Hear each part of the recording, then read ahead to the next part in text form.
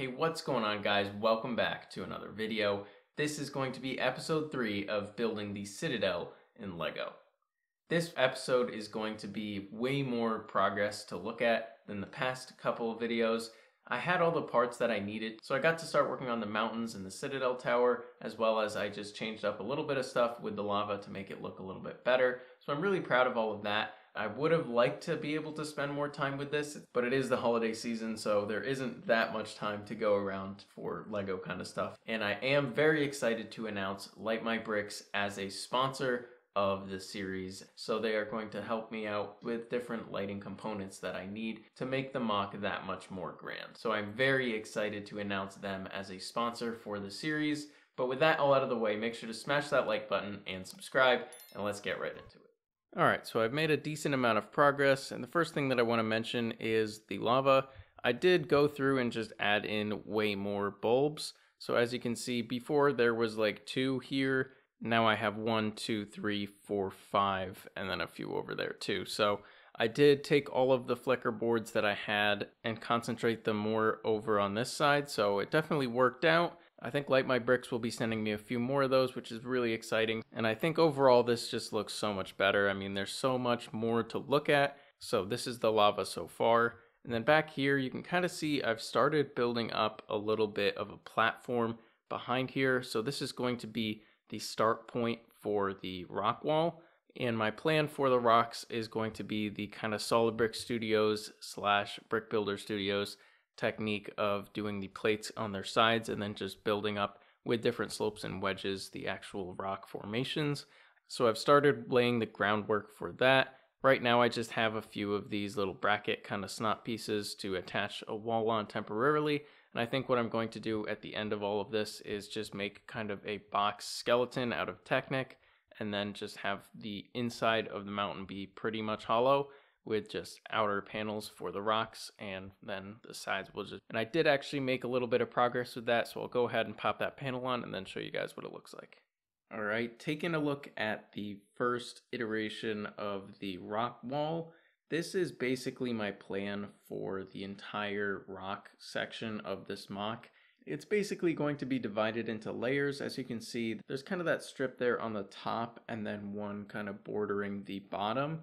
And on the bottom, it's less pronounced, but there on the top, you can definitely kind of see that layer effect. So I'm definitely going to be focusing on doing multiple layers going all the way up the mountain. I feel like this is the closest that we can get in a Lego form to the Clone Wars show while also still having it look good in Lego as well as being kind of realistic-ish because this is a realisticified version of the Clone Wars. So that's kind of everything that I've been thinking about and all that kind of going into the rocks and I'm definitely very happy with how this looks and just especially with the lava the lights turned on it really glows nicely and I just love that gray and purple versus the yellow contrast it's such a cool look in the show and it really translates nicely into Lego as well so I'm really happy with this I think the purple is definitely going to help add in that color and I think this is kind of the approach that I'm going to take. So this is the idea that I have going on for the rocks and I'm definitely excited to expand on this and see what it looks like over the course of the entire MOC.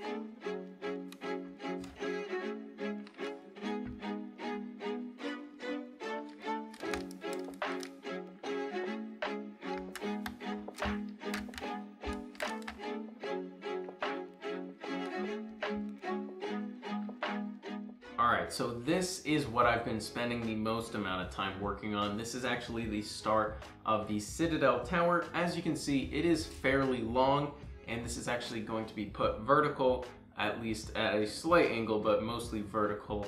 And so this is definitely going to be very, very tall. Basically, the way that I designed this structure is a bunch of bricks. As you can see, this whole stretch is made up of bricks and they're at a slight angle. So I don't know if you can kind of see there.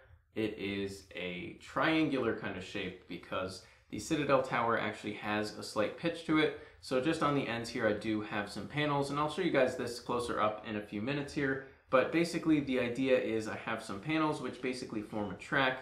And if I take this long string of plates and tiles and they kind of just sit right in like so. I don't have a way to connect these currently, but you can kind of see what that is going to look like. And just imagine this obviously being attached into a wall. And so I think this is a, definitely a good start. I was a little bit concerned originally about the angle being a little bit too steep, but I think that this is actually going to work out pretty well. And the way that I built it, I'll show you guys up close later on as well, but I used a bunch of sausage pieces attached into snot bricks. So this thing is actually fairly strong, which is really nice. I wanted to kind of stray away from using hinges just because hinges can bend back and forth and I just didn't want to have to deal with that. And one of the other things that I'm pretty proud of is I have these kind of dark gray stripes here. And it seems like it would be the easiest thing to figure out, but the way that I built this, I actually had to come up with some panel techniques and stuff like that. So I'm actually really happy with those. But now I'll take you guys into a little bit of a closer up look and show you guys the kind of inner workings of the Citadel. All right, so we have it in a close-up view now so I can show you guys the interior structure of this. And the first thing I'll do is just pull off this layer of the plates and tiles. So as you can see, basically the only thing is just one layer of plates and then a layer of tiles on top. And I do have some of the dark bluish gray here just so that it lines up like this with the stripes of the dark bluish gray going by. And that actually looks really, really nice. So I'm pretty happy with that. And the way that this whole entire structure is built is there is basically a bunch of bricks stacked up and then towards the top, because of the way that I built this originally and figuring out the structure, this is all a bunch of plates with panels right on top of it. So that is the reason for these kind of panel things. Otherwise, this would just be straight up bricks going all the way to the edge. But I did this whole layer of these plates here. And so underneath these, if I kind of try and pop this up here, you can kind of see the interior structure of the way it's built. But as you can see, there is a line of the light bluish gray that goes through there. And if I didn't care, I could have just rolled with that and put in the dark bluish gray. But I wanted this to be just a complete straight stripe of that dark bluish gray. So this is the way that I came up with to kind of counteract that. I don't know how well you guys can kind of see in there, but basically it's a telescope piece right here with a stud with a hole in the center attached to a bar clip. And basically this just gives me enough attachment points so that I can attach two of these road signs and that basically just makes the full stripe in dark bluish gray. So I'm really happy with that. And then this one over here is a little bit more simple. It's basically just some headlight bricks attached to more of those dark bluish gray panels. And then in, underneath there, there's a little bit of a stud reversal. So if I kind of pull this thing up, you can see the interior structure is basically just some one by two plates here to attach the two sides. And then I have this two by four plate with some tiles on it just to keep it from popping out. Because if I take that off, it slides in. But if you flip it upside down, it falls right out. So that is basically the reason that I did that. In there, you can kind of see the underside of that 2x4 plate on the other side that holds in this panel. So that is basically this and the actual structure, as I mentioned, was made up of these sausage pieces. So if I kind of move this stuff out of the way here, I do have a little bit of a demonstration. So basically right here, I just have some snot bricks, the regular one by ones. And if I take my sausage piece and I angle it in like so and just push this together all the way. Then I take my other snot brick and do the same thing. There you have an angle and this thing is sturdy. It doesn't bend or move because of that sausage piece. This is actually really, really cool. Uh, I like building this way because as I mentioned with the hinges, it has that flex and that bend. So it's kind of hard to get it to stay where you want it. You'd have to add in other connection points just to make sure that it doesn't bend or bow. So this way it gives you that kind of angle, which I can definitely make work, as well as just having it be structurally sound and this thing is not moving or going anywhere. So that is the interior structure and I can kind of point out where I have those on here.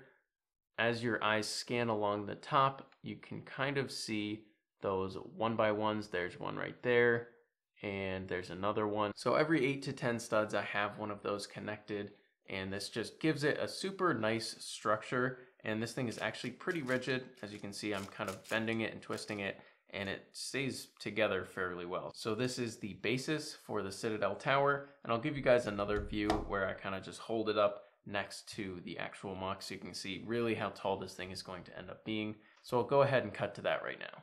Alright, so I moved the camera to a position that you can kind of see what it looks like if I hold this up. So I'll go ahead and place this pretty much where it will be sitting in the MOC. As you can see, the top point is still out of reach or out of view for you guys. So this thing is going to be very, very tall. As you can tell though, it is way taller than the mountain is right now. And the mountain is probably going to end up being around this height. So this is actually only like halfway up the entire Citadel Tower. So this thing is going to be very, very tall, probably approaching three feet, I would say. And it's going to add in so much height to this MOC and really make it stand out. Alright guys, that is going to wrap up episode 3 of Building the Citadel. I'm very proud of the amount of work that I was able to get done. As I mentioned at the beginning of the video, this is obviously the holiday season, so there's a lot of stuff going on at work, as well as with family and making plans for the holidays and things like that. So I am very proud of everything that I was able to get done. Obviously, there's always going to be that part of me that wishes I could have gotten more done, but I am still pleased with the amount of progress that I made for this video, and I'm hoping that the next coming episode will be even bigger than this one. So thank you guys so much for watching. If you made it to the end of the video, make sure to smash that like button and subscribe so you don't miss out on any future updates for the Citadel. But that's all for me, so thank you guys so much for watching, and special thank you to Light My Bricks again for sponsoring this series. That is all for me. I'll see you guys all in the next video. Thanks for watching.